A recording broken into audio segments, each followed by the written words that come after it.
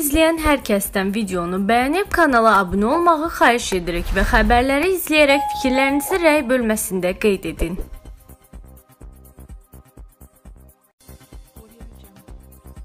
Ermənistanın baş naziri Nikol Paşinyanın istefası tələbi ilə müddətsiz acılığa başlayan müxalif Daşnaküstün partiyasının fəalı Geqan Manukyan aksiyanı Nazirlər Kabinetinin binası qarşısında davam etdirmək istəsə də polis imkan verməyib.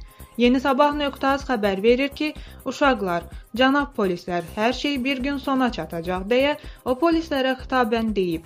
Geqan Manukyan hüquq müdafiəçisi Avetik İşxaniyanın acılıq aksiyasının xeyri olmayacağı, kiminsə ölümünün Paşinyanı maraqlandırmadığı barədə fikirlərinə cavab olaraq deyib. Düşünürəm ki, iş bu qədər uzanmayacaq. Nikol Paşinyan gec-tez istefa verəcək.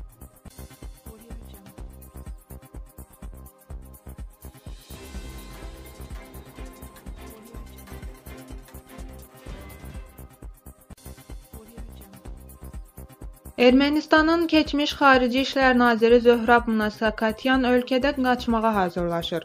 Yeni Sabah.az xəbər verir ki, eks-nazir ilk növbədə ailəsini Ermənistandan çıxarmaq, daha sonra isə ölkəni tərk etmək niyyətindədir. Mediaport Telegram kanalının yaydığı məlumata görə Munasakatyan ailəsini ölkədən çıxarmasına yardım etməsi üçün BMT-nin baş katibi Antonio Guterreşə müraciət edib. O həmçinin Guterreşdən işlə təmin olunmasında yardım göstərməsini istəyib. BMT-nin baş katibi bu barədə fikirləşəcəyini bildirib. Munatsakanyan 2014-2018-ci illərdə Ermənistanın BMT-də daimi nümayəndəsi olub. 2018-ci ilin mayında Ermənistanın Xarici İşlər Naziri vəzifəsinə təyin olunub.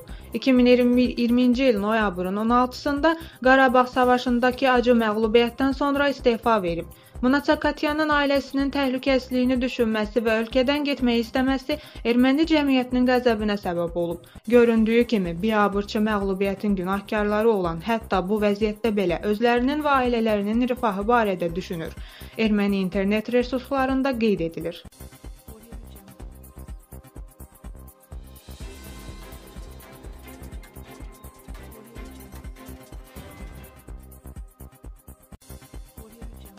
Ermənistanda siyasi böhrana uğrayan sosial üsyan başlayır. Ölən və yaralanan erməni əskərlərin anaları hökumətdən maddi yardım tələb edirlər. Yeni Sabah.az xəbər verir ki, müxtəlif erməni siyasətçilərin etiraflarına görə 2-ci Qarabağ müharibəsi zamanı 5000-ə yaxın erməni əskəri öldürülüb, daha 10 min isə yaralanıb. Qolos Armeni qəzetinin qeyd etdiyi kimi, Ermənistan baş naziri Nikol Paşinyan bu cür analar çoxdur və hökumətin hamısına kömək etmək üçün kifayət qədər pulu olmadığını bildirib.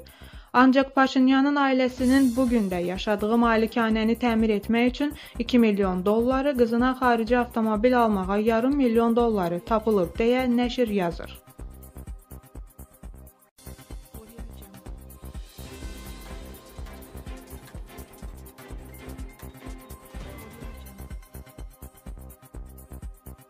İşğalçı erməni xalqı Azərbaycan torpaqlarından çıxmaqda davam edir. Yeni Sabah.az xəbər verir ki, BBC bununla bağlı video reportaj hazırlayıb.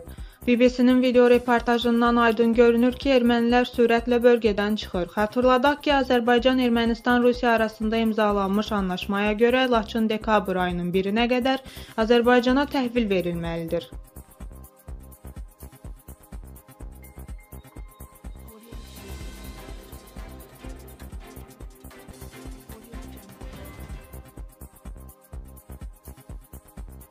Beynəlxalq Qızıl Xaç Komitəsinin əməkdaşları əsir düşmüş azərbaycanlı hərbiçilər Amin Musayev və Bayram Kərimova baş çəkib. Oxu24.com xəbər verir ki, bu barədə Beynəlxalq Qızıl Xaç Komitəsinin Azərbaycan nümayəndəliyinin İctimaiyyətlə Əlaqələr şöbəsinin müdiri İlahə Hüseynova modern.az-da bildirib. İlahə Hüseynova bildirib ki, bununla bağlı konkret olaraq məlumat isə ailə üzvlərinə verilib, ictimaiyyətə açıqlanmır. Xatırladaq ki, hərbiçilərimiz Amin Musayev və Bayram Kərimov 44 günlük vətən müharibəsi zamanı yaralanaraq ermənilərə əsir düşüblər. Onların Ermənistan ərazisində saxlanıldığına dair məlumat var. Düşmən tərəfindən əsir alınan Amin Musayev və Bayram Kərimovla bağlı ilk videonu Ukraynalı jurnalist Aleksandr Xarçenko çəkərək YouTube-dakı Anna News kanalında paylaşıb. Hüseynova deyib ki, Azərbaycanlı hərbi əsirlər Amin Musayev və Bayram Kərimovun geri qaytarılması üçün dialoqlar davam etdirilir. Saxlanılan şəxslərin qaytarılması, azad olunması saxlayan tərəfdən asılıdır. Saxlayan tərəf azad etmək barədə arzu və qərarını bildirdikdə, Beynəlxalq Qızıl Xaç Komitəsi bu əməliyyatın həyata keçirilməsində vasitəçi olaraq iştirak edir. Hüseynovanın sözlərinə görə əsir və girovların dəyişdirilməsi ilə bağlı konkret müddət nəzərdə tutulmayıb. Bu qərar tamamilə münaqişə tərəflərindən asılıdır. Yəni münaqişə tərəfləri qərar verdikdə Beynəlxalq Qızıl Xaç Komitəsi münaqişə tərəflərinə əməliyyatın yerinə yetirilməsində neytral vasitəçi kimi dəstək verir. Amma qərar tamamilə münaqişə tərəflərindən asılıdır. Azərbaycan tərəfi həmin əsirlərin geri alınması üçün beynəlxalq təşkilatlara, o cümlədən Avropa İnsan Hüquqları Məhkəməsinə müraciət edib.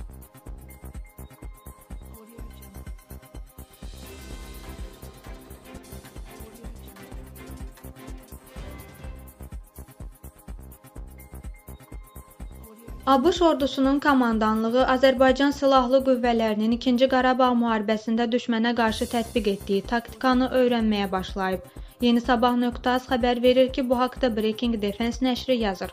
Bildirilir ki, Qarabağda kəşfiyyat və zərbə pilotsuz aparatlarının ənənəvi qüvvələrlə, yəni tanklar, piyada qüvvələri və artilleriya ilə kombinə edilmiş formada tətbiqi yeni təcrübədir. Birləşmiş Ştatların gələcəyin ordusu komandanlığından yüksək rütbəli general anonimlik şərti ilə bildirib ki, Qarabağda gedən hərbi əməliyyatlar gələcəyin müharibələrində hadisələrin necə cərəyan edəcəyini təxmin etməyə imkan verir. Birləşmiş Ştatların gələcəyin ordusu komandanlığı ABŞ ordusunun modernizasiyasına, gələcəyin döyüş sistemlərinin hazırlanmasına rəhbərlik edən strukturdur və 2018-ci ildə yaradılıb. General deyib ki, Dağlıq Qarabağda Azərbaycan ordusu erməni zirehli texnikasını sürətlə məhv etmək üçün nəinki kəşfiyyat, eləcə də zərbə pilotsuz təyyarələrindən, habelə kamikadze dronlarından kütləvi şəkildə istifadə edib. Bu taktika Azərbaycan ordusuna imkan verib ki, erməni qüvvələrini sürətlə məğlub edib irəliləsin və ola bilsin gələcəkdə Çin və ya Rusiya ordusu da ABŞ-a qarşı müharibədə buna bənzər taktikadan istifadə edəcək. Ona görə də ABŞ ordusu indidən bu cür regional münaqişələrin təcrübəsini öyrənməlidir.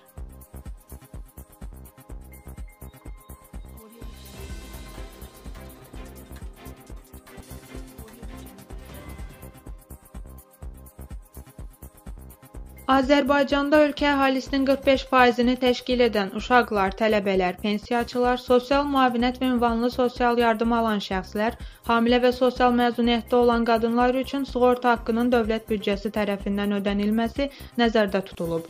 Bunu Xalq qəzetinə müsahibəsində İcbari Tibbi Sığorta üzrə Dövlət Agentliyinin İdarə Heyətinin sədri Zaur Əliyev deyib. O hazırda ETS-in baza zərfinə 1829 adda tibbi xidmətin daxil olduğunu bildirib.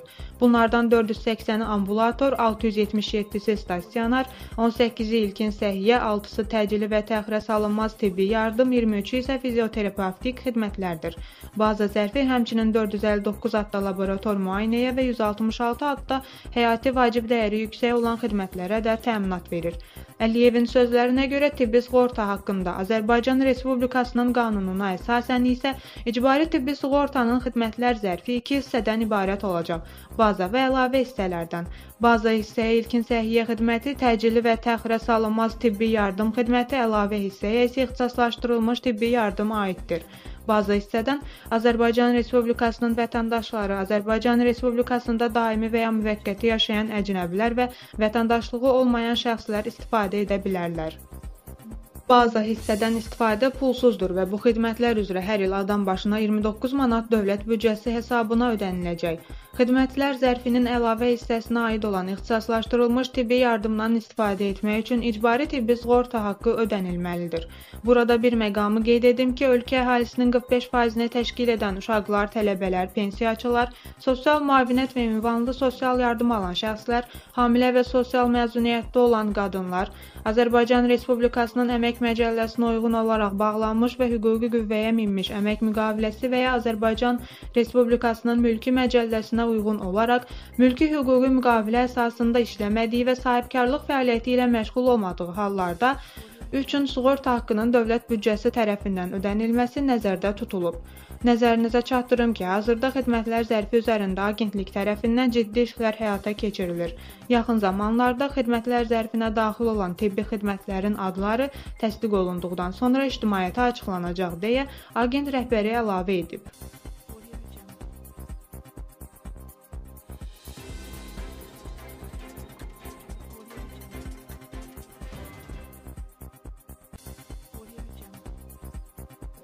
Yaralar o qədər dərindir ki, onların qaysaq bağlamasına hələ çox vaxt lazımdır. Çünki biz təkcə bu müharibəni yox, həm də 1-ci Qarabağ müharibəsini görmüşük.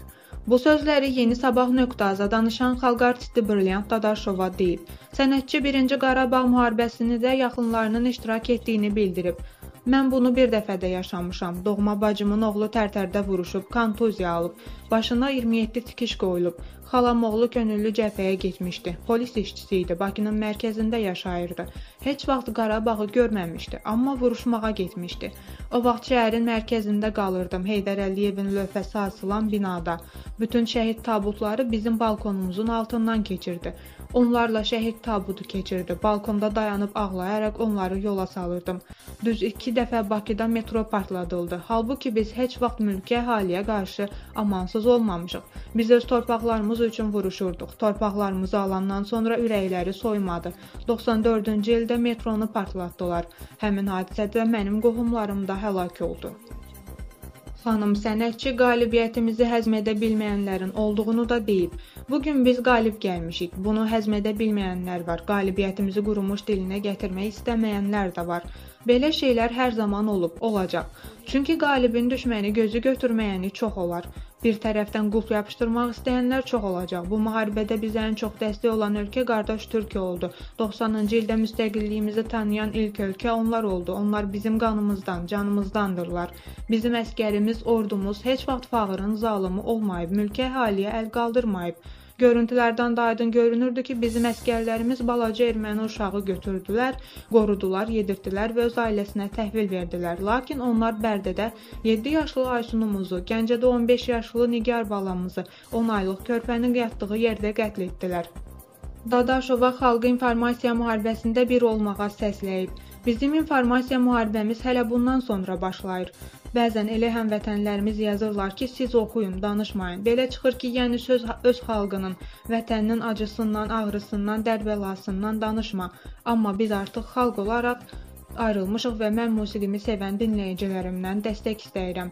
Məncə hər kəs öz ölkəsini, jurnalistini dəstəkləməlidir. Biz hər zaman mərd xalq olmuşuq. Mərhəmət hissimiz olub. Əgər kimsə əlimizə düşübsə, əsirdirsə, o bizim üçün gücsüz məxluqdur. Biz heç vaxt gücsüzə öz gücümüzü göstərmək istəyən olmamışıq. Bizim kökümüzdə zalımlıq olmayıb. O erməni xalqının hətta öz həmvətənlərinə qarşı da amansız olduğunu qeyd edib. Bilirsiniz, onlar vəhşi, yırtıcı insanlardırlar. Baxın, onlar Paşinyan haqqında nələr deyirlər. Deyirlər ki, Paşinyanı verin dönər edək, ətini şəhər meydanından asaq, fırlansın və dönər kimi hərə bir tükə onun ətindən soysun. Onlar Paşinyanın ətindən dönər hazırlamaq istəyirlər. Bizim ölkəmizdə də naxələf bizi bada verən siyasətçilər olub. 20% torpaqlarımız naşı siyasətçilərimizin badına getdi. Hamımız bilirik ki, 90-cı illərin sonuna yaxın Əliyev hakimiyyətə gəlməsəydi, çox torpaq torpağımız əldən gedəcəkdi.